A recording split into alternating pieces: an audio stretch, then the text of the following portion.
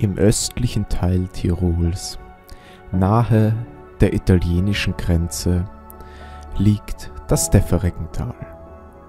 Ganz hinten, versteckt zwischen hohen Bergen, liegt das kleine Bergdorf St. Jakob oder mit ganzem Namen St. Jakob in Deffereggen.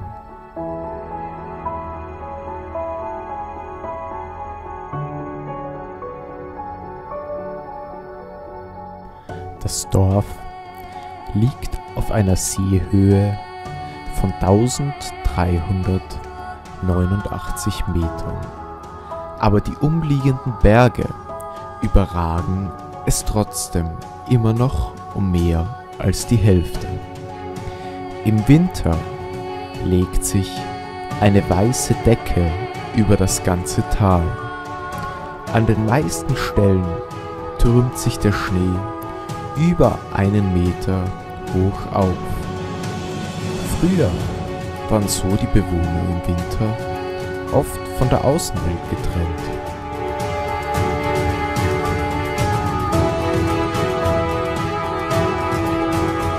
Das Tal ist nicht stark besiedelt, da die jüngere Bevölkerung oft in den größeren Städten, wie zum Beispiel Lienz, wohnt. Dadurch sind manche Häuser nicht mehr benutzt und verfallen mit der Zeit.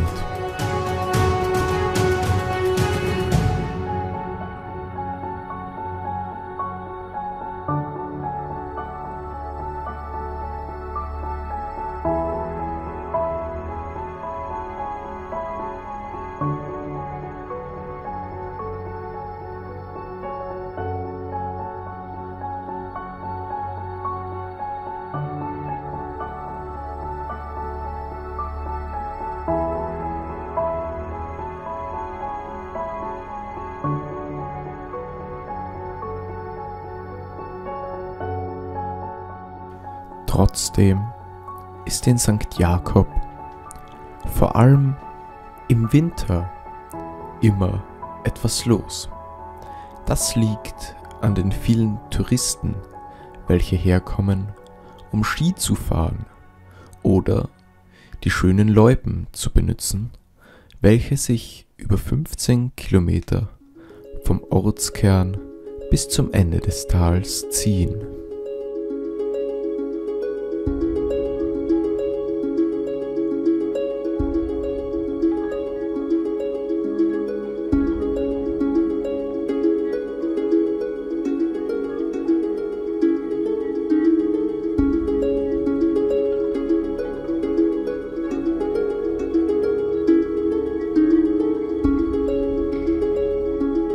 Der Fluss Schwarzach durchzieht das gesamte Deffereggental.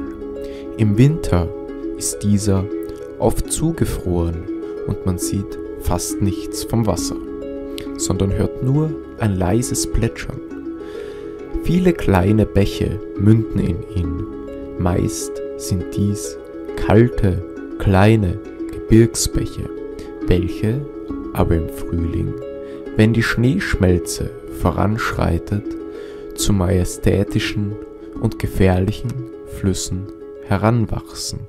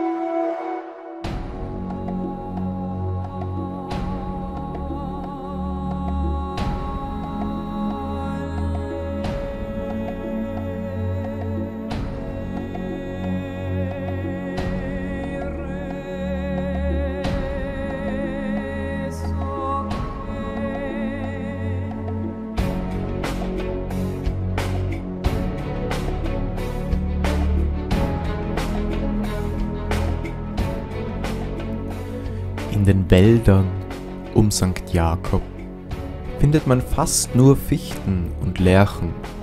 Laubbäume bekommt man nur sehr selten zu Gesicht. Der Wald ist durchzogen von einem weitläufigen Netz kleiner Wege, welche jetzt aber meist als Langlaufloipe genützt werden.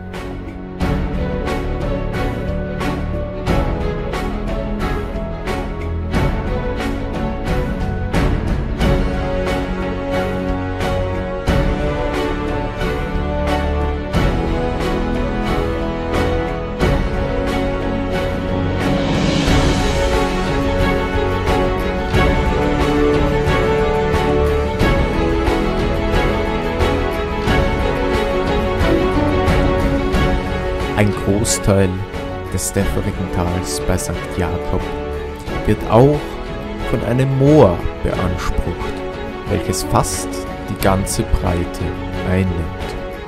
Wie der Fluss ist auch dieses im Winter zugefroren, aber hier und da sieht man manchmal einen kleinen Sumpf oder ein paar Schilfhalme unter der Schneedecke hervorragen.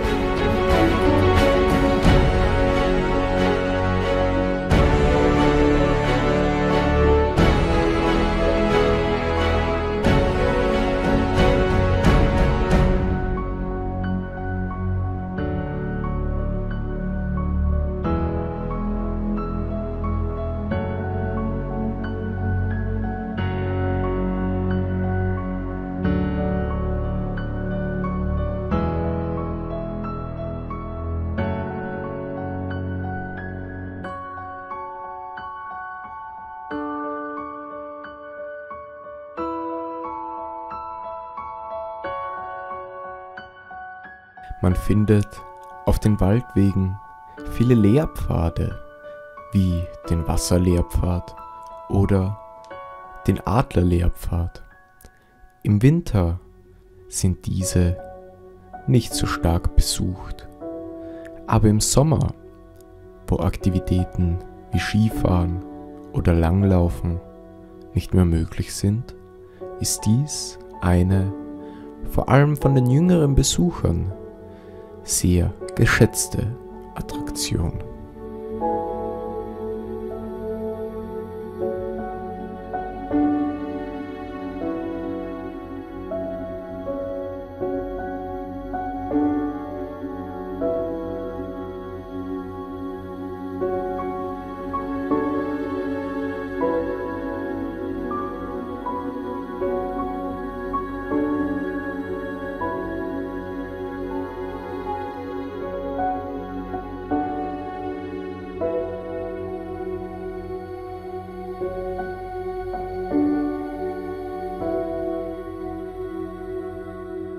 Die Flüsse werden durch zwei große Seen gespeist.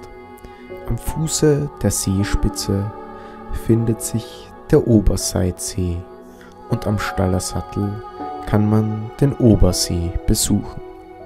Die Seespitze liegt im Gebiet der Hohen Dauern, ein Gebirge, welches die Heimat von so manchem Dreitausender ist. Die Seespitze zählt mit stolzen 3021 Metern zu den höchsten Bergen im Gebirge. Der höchste Berg, das zum Teil noch vergletscherte Kesseck, liegt jedoch mit mehr als 100 Höhenmetern voraus. Der Stallersattel bildet die Grenze zu Italien. Die Passhöhe liegt auf einer Seehöhe von 2052 Metern. Etwas weiter unten liegt auf einer Höhe von 2016 Metern der Obersee. Vom Stallersattel führt im Sommer eine ganz gewöhnliche Grenzstraße hinunter nach Antholz. Autos dürfen auf ihr nur in dieser Jahreszeit fahren. Im Winter hingegen ist dort alles tief verschneit und die Straße nach Antholz wird in eine Rodelbahn umgewandelt. Auch für Leute, welche lieber mit Tourenskien unterwegs sind, ist der Sattel ein beliebter Ausgangspunkt.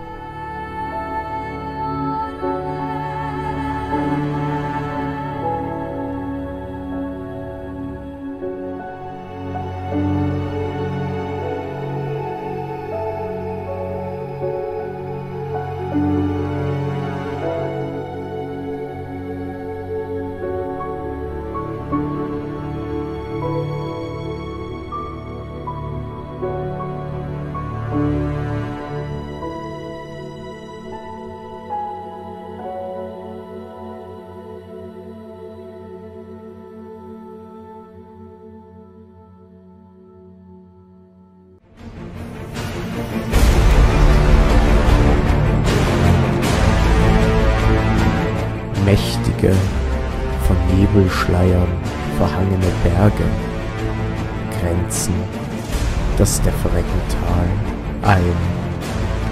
Sie wirken sehr bedrohlich.